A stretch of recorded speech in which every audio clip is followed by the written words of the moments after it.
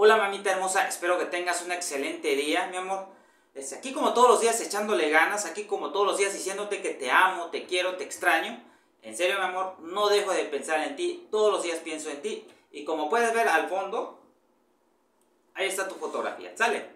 A echarle ganas, mamita, y disfruta estos últimos días que te quedan de vacaciones, ¿sale? A echarle ganas y para adelante, mi amor, ¿sale? Este, te mando un beso y un fuerte abrazo, bebé, ¿sale? Te amo. No mentir, no robar, no traicionar al pueblo. aunque no se crean, son Decirle a los tecnócratas liberales, tengan para que aprendan.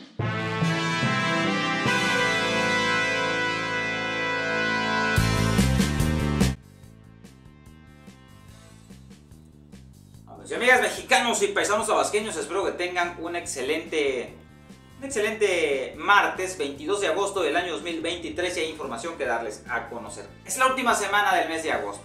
Agosto se nos está yendo de manera muy rápida. Bueno, el día de ayer, señores, este, se dio a conocer la, la noticia de último momento que Santiago Krill declina a favor de Xochitl Galvez, que se baja de la contienda electoral. Que se baja según él. Más bien lo bajaron. Lo bajaron porque todos, todos lo estaban señalando de que Santiago Krill tiene que bajarse de la contienda, Santiago Krill tiene que ir a favor y declinar a favor de Xochitl Galvez. No aguantó la presión hasta que se dio la noticia el día de ayer. Xochitl Galvez ya invitó a Santiago Krill a formar parte de su de su equipo de campaña. Porque que no se nos olvide, el presidente López Obrador nos contó la el final de esta historia, de esta novela, de esta película, del Frente Amplio por México o del Va por México. Xochitl Galvez, y no sabemos si realmente va a ser ella, porque de las declaraciones que ha hecho durante estos días, no son nada favorables para ella. Pero bueno, solamente quedaría Xochitl Galvez y Beatriz Paredes. Vamos a ver este, quién queda. Santiago Krill nuevamente lo vuelven a dejar vestido y alborotado. Porque recordemos que perdió la contienda interna de, para las elecciones presidenciales del 2005-2006. O sea, del 2006.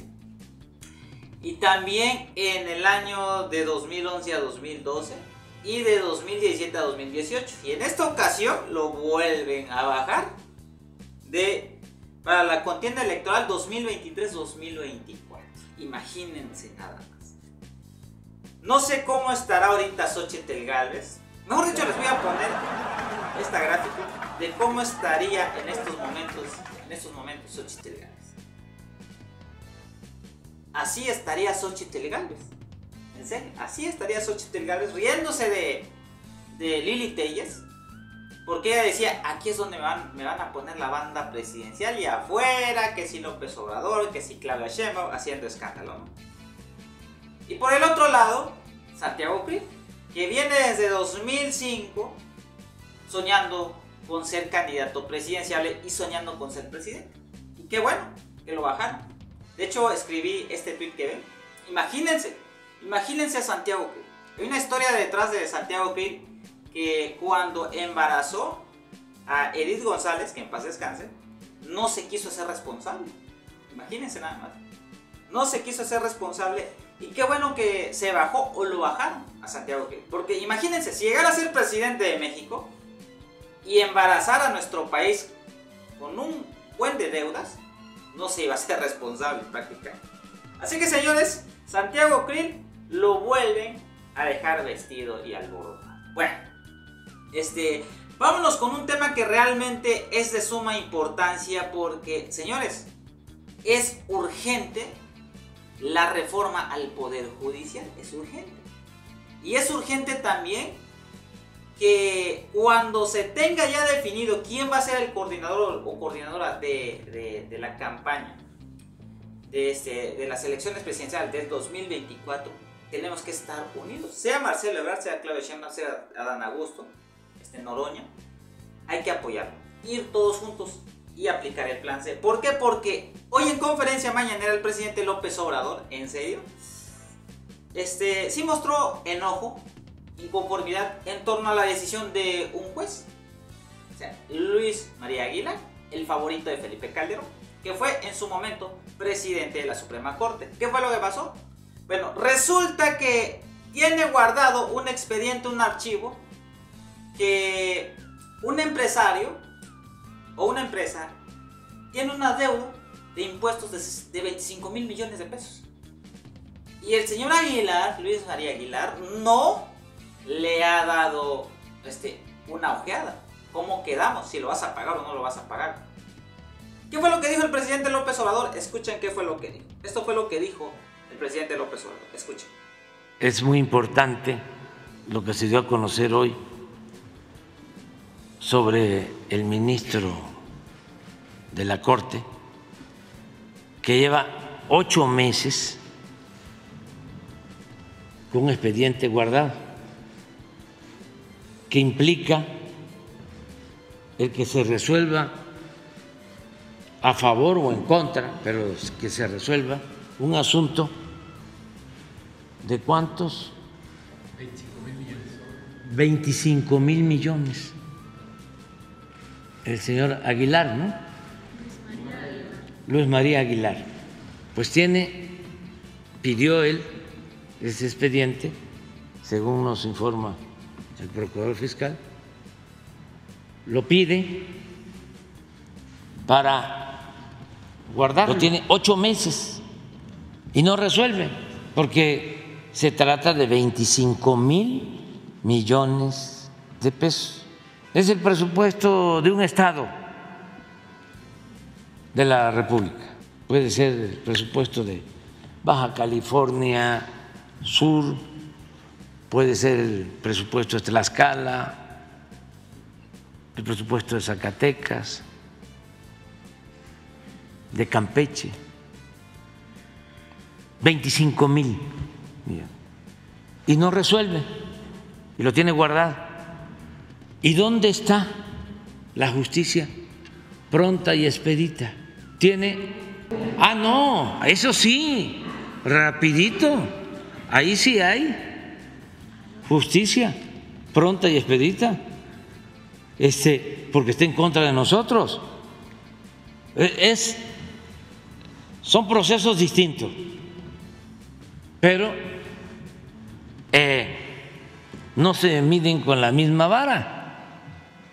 En este caso, como se trata de proteger un asunto en donde están de por medio 25 mil millones de pesos, no estoy diciendo que eh, deban ya los jueces dar la razón al gobierno para recuperar ese dinero.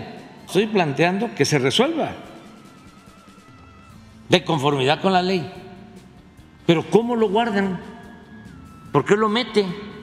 Lo tiene en la gaveta de su escritorio. Mientras, como tú lo señalas, presenta la gobernadora de Chihuahua un recurso una controversia y resuelve así. Yo creo que se llevó como una semana, ¿no? Unos días. Ya, y ya está por resolver. Ah, ya, no, no. Fast track. O sea, ya. Pero este otro caso, ocho meses. Hoy, ante el Consejo de la Judicatura,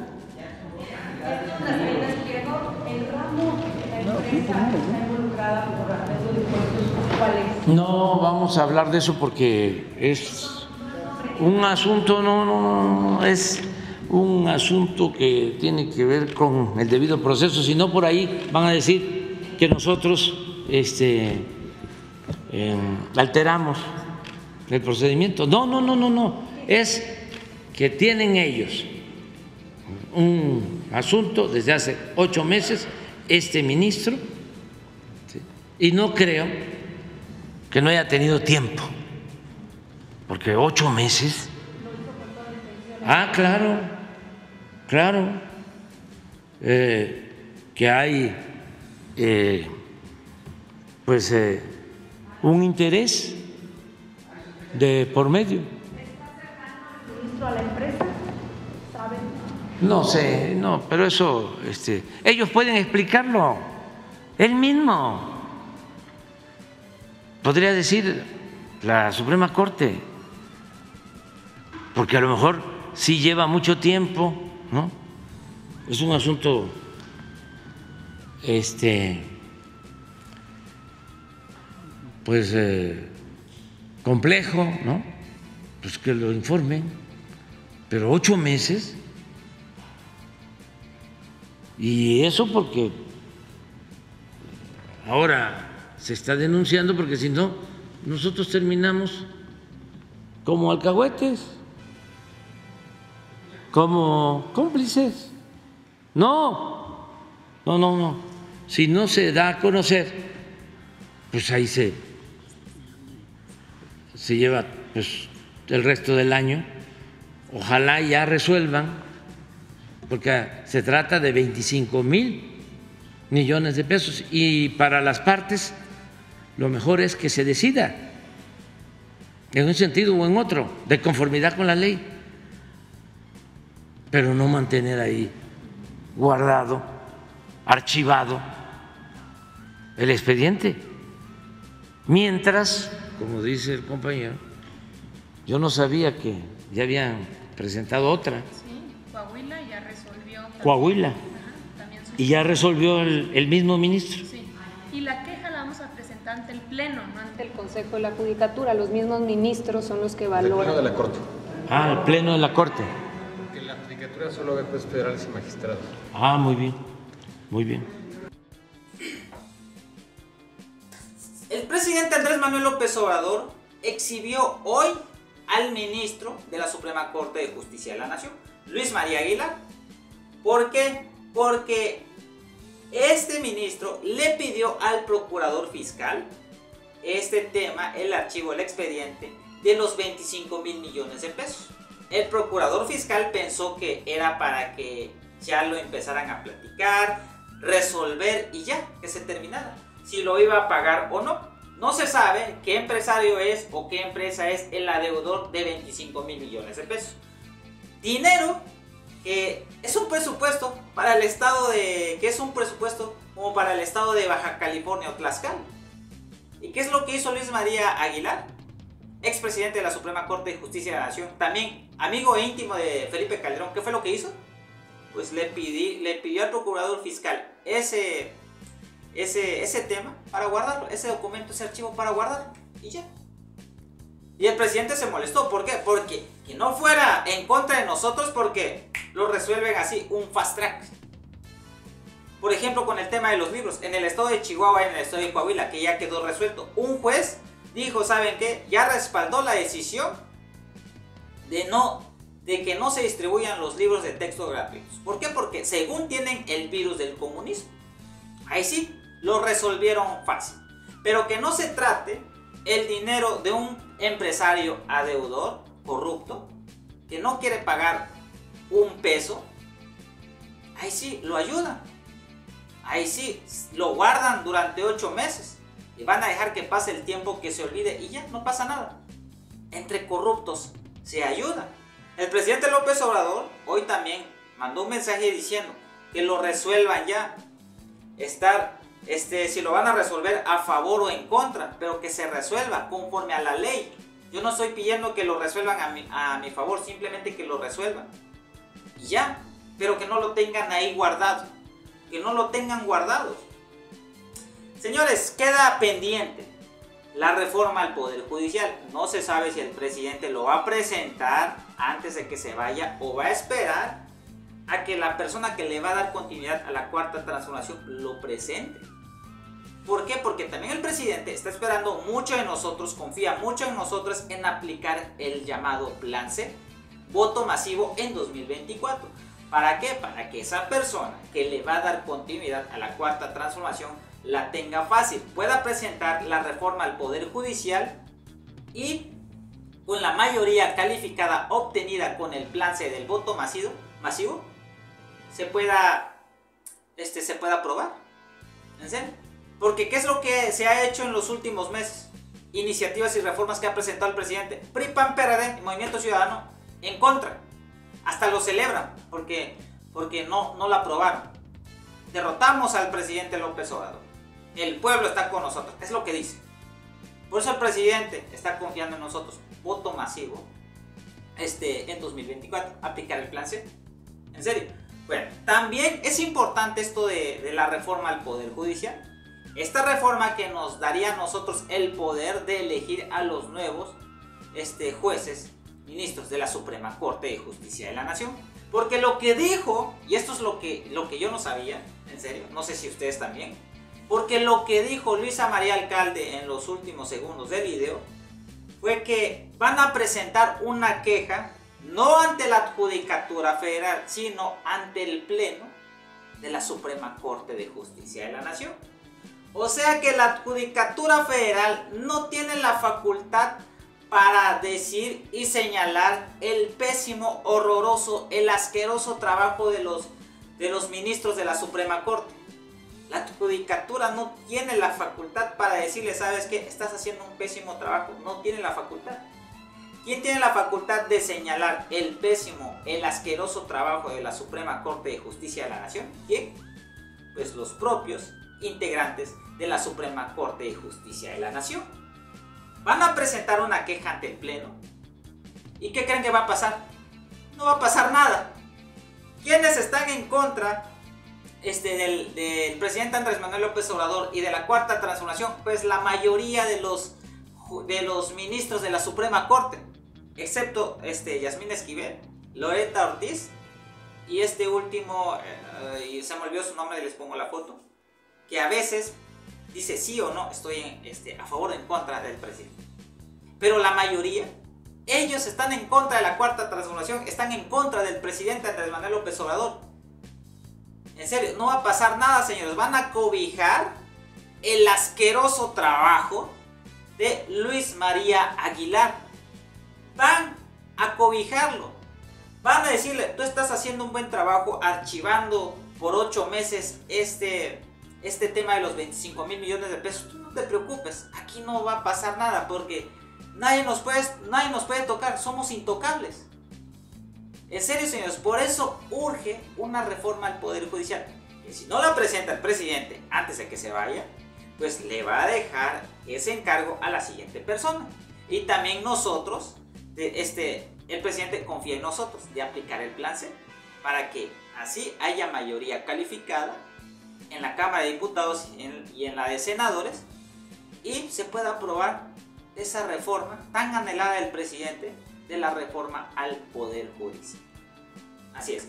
Así que señores, vamos a ver qué es lo que pasa, vamos a ver qué es lo que sucede con esta queja que va, este, van a, van a poner ante el Pleno. Porque yo creo, como se los estoy diciendo, no creo que pase nada van a seguir cobijándose entre ellos, van a cobijar el pésimo, el asqueroso trabajo de Luis María Aguilar. Nada más. Y de ahí no va a pasar nada. Así es. Lamentablemente eso es lo que va a pasar. No va a pasar nada.